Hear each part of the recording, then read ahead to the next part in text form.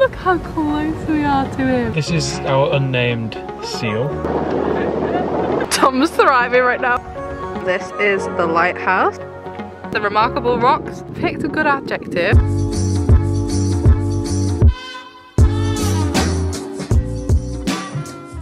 Good morning, welcome to a vlog that is going to be from Kangaroo Island. Guys, we are so excited about today. Basically, if you haven't heard of Kangaroo Island, which potentially you maybe haven't because I feel as though it's actually quite an underrated excursion to do in Australia just because of where it is. But it's basically located about two hours kind of like south of Adelaide and it is I think Australia's third largest island. We are heading to Kangaroo Island on a day trip today from Adelaide. We have booked the bus booked the ferry, we've hired a car when we get there, so it's gonna be a big old excursion and I am super excited to bring you along. I'll let you in on a little behind the scenes secret. This has not all been smooth sailing, guys. There's been several hiccups before we've actually got to go on this trip. So hopefully, fingers crossed from now on, it's gonna be all good. First stop is we need to get the coach from the coach station that's gonna take us to the ferry terminal, which is actually like a two hour drive away. So we need to head there now. If you were interested, this is the current time. Pretty, pretty early. And I did get up and sort of do my hair. We really need to set off because the bus goes in like 15 minutes.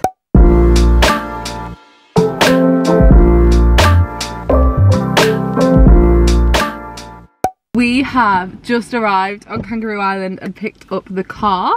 It is a chilly day, I'm not gonna lie. I underestimated the weather. I kind of did dress for summer underneath this outfit because I was thinking, oh, we might go swimming. We're not going swimming. It's like Arctic. Tom has just popped into the IGA, which is the supermarket, to hopefully, fingers crossed, find an iPhone lead because we stupidly did not bring one and to connect the maps to the car we need one. So we are to be setting off in a second. We've hired a 4x4 because you can't really drive on the roads here without one. Personally, I've never driven a car this big. Tom and I are to switch the driving. We've like given both of our licenses over. But I did just realise I've not driven in like five months. And I think that's the longest I've ever gone without driving so I don't actually remember if I can drive. Joking. I hope. I hope I can.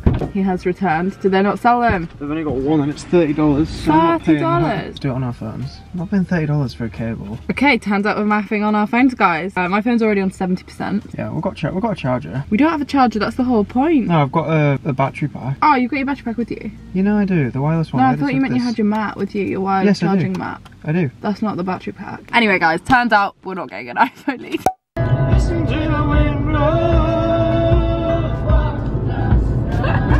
So the first place we were heading guys was a place called Seal Bay. This is pretty famous on Kangaroo Island and we were really hoping we were going to see some seals and we were not disappointed. Almost as soon as we got there guys, there were so many. Oh my gosh. Oh my gosh, I'm so happy about this.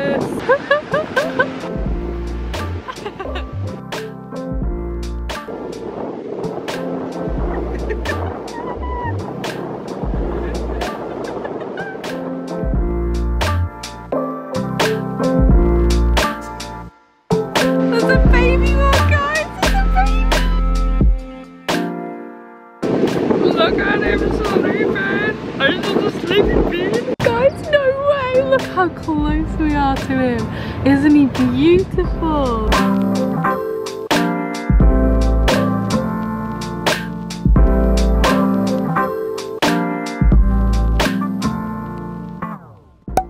Back in the car, the correct car. Tom just tried to open the car door to a car that we're not driving because he forgot what car we were in. Oh my gosh, how amazing was that? So good. We literally, we'll probably insert some pictures, but this little baby one just came right up to us. I managed to film um, it. I think, I think he was kind of showing off or like he wanted to, I think he wanted to actually like see us. Cause yeah. He, looked, he just looked really happy and like came back right up to us. Apparently guys, they're like really sociable animals and they're not that frightened of humans. But no, honestly, that was one of the best experiences we've done in a while. I was just saying that was that's up there in the highlights of Australia. Yeah, especially when it comes to animals. Like they, there were so many of them. Sometimes you do these things and you go to these like boardwalks and it's like, oh, you're guaranteed to see koalas, you're guaranteed to see penguins and like you don't see them. But there were so many seals. That was just lovely. Tom, do you want to introduce the newest member of the family? This is our unnamed seal.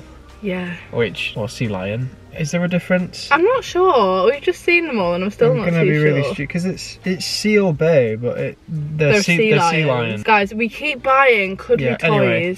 We're not gonna name him, and I think it's probably gonna be something beginning with S. But it Yeah. doesn't ne- necessarily have to be because we've I got think Mac. I think Sid the seal. Sid. Maybe a Yeah, Sid. he's a Sid. You think he's a Sid? I think he's a Sid. We're adding him to the collection. It's something to look back on when we're back home. Anyway, guys, we are gonna head to the next location, which is a little lunch stop on the beach. So I'm driving. Who let me drive? Who put me in the driver's seat? Not happy about it, Tom's move. fearing for his life. I want to do it though, guys, because from next week we're going to be in a van and we do need to split that driving because it's a lot of driving. And I've not driven in five months like a science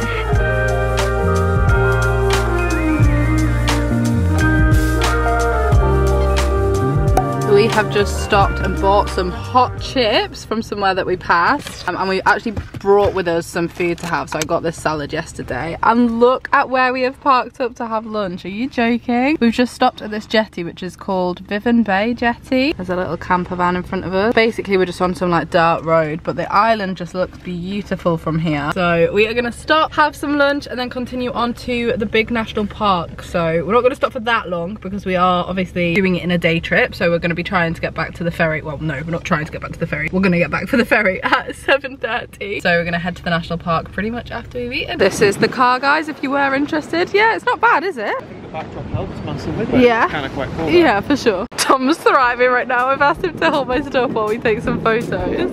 He literally has my hoodie on his hat on his hat on his head and my coat in his arm but you've done a great job. I'm just a glorified oh, coat hanger. oh i'm sorry insta boyfriends be like This is the behind the scenes that you don't see. hey no we took actually, picture Less than 10 seconds after this this clip finishes, she's going to be wrapped up back in all of these layers.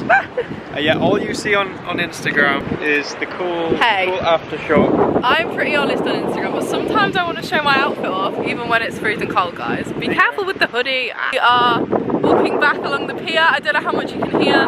Probably not much. This is a beautiful spot though, guys. What I was saying was, you should definitely check this out. It's a really nice place to sit and eat lunch. Really great views, really blue water.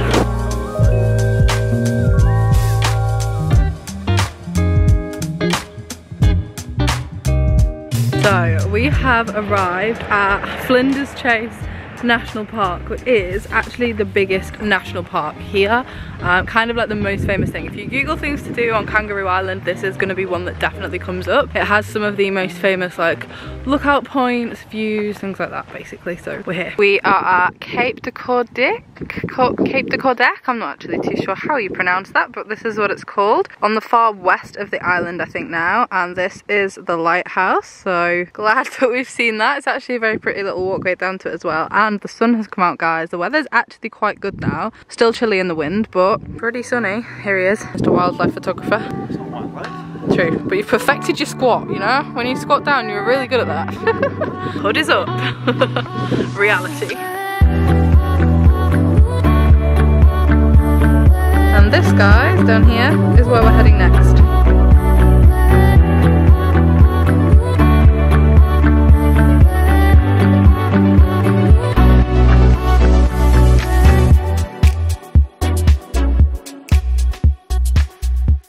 Guys, when we got to the national park, they handed me one of these maps because there's no phone signal. And I did Duke of Edinburgh. I have no idea how you read these. Like, I honestly should not be the passenger right now because we've made it somehow to the last stop. But oh my god, I'm terrible at map reading. Here we go, guys. The final stop of the national park trip is the Remarkable Rocks, which are these. We are going to walk up to them, guys. But from here, you can see they are pretty remarkable. I've picked a good adjective. They look sort of man-made. It's kind of weird.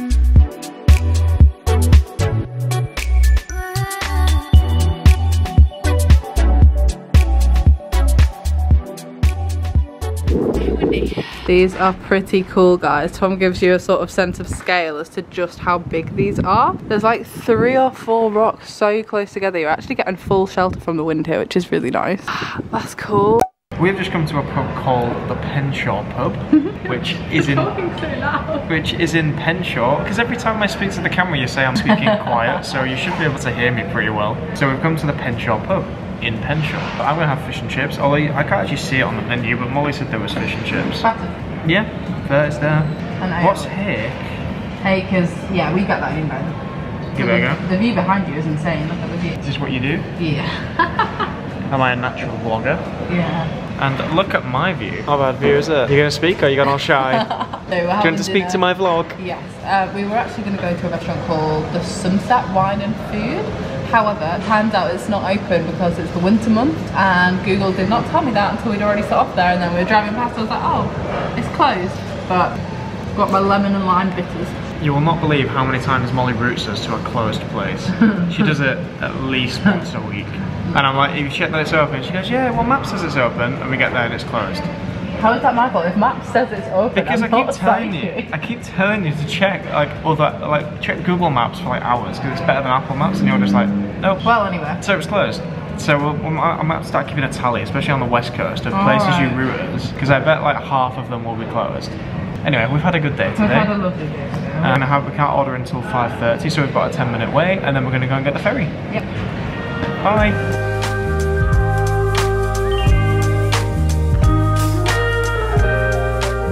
We are heading back to the ferry port, guys. Uh, we've just dropped off the car. It wasn't out of hours service. Just drop the keys off.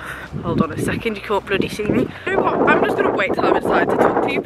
Guys, I am now inside. I can update you. I'm so windswept. It has been such a windy day. We just finished up having dinner, dropped the car back, and now we are waiting for the ferry. Something I will say, now that it's dark, the island is not very well lit at all. Like there's no lights. There's like barely any street lights or anything, which actually is the same in Adelaide. So I don't know if that's like a South Australia thing. Yeah, something to note if you're coming and you're going to be driving in the dark. It's not very well lit at all. But we've dropped the car back and we are heading back to Adelaide.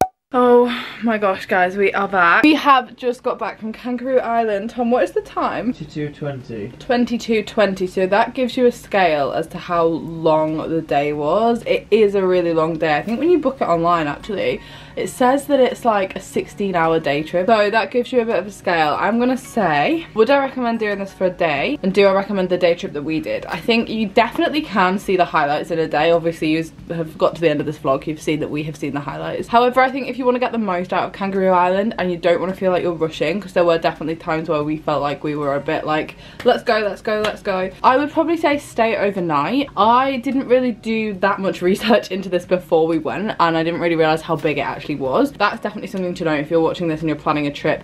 I would say one or two nights would probably be like a good amount of time. You probably wouldn't need more than that. I don't Um, think you need any more than one night. I think one night would be perfect actually, yeah. I, I think if you did, if you had two days there, you'd find yourself like with enough time to relax and see everything. So yeah, I agree I with think that. that'd be. I think two days there would be a good amount of time. One yeah, night. it's my little roundup, my little review of Kangaroo Island. I definitely think if you find yourself in Adelaide or South Australia, this region generally, it is worth visiting, even just for the seals alone, guys. Like Tom and I really, really loved that experience just because we were the only ones there. We we hadn't paid loads of money for that. Like we did pay to get into the national parks, but it wasn't ridiculous, and it was one of the best wildlife experiences that we've had in Australia. So I definitely think that that was worth it. Yeah, I think if you're in South Australia, add Kangaroo Island to your bucket list, your must do. Just a really great all round trip. I will actually link down below guys a trip that you can do if you want to do this as part of a tour. Tom and I actually were looking at this but we left it very last minute because of all the cancellations with the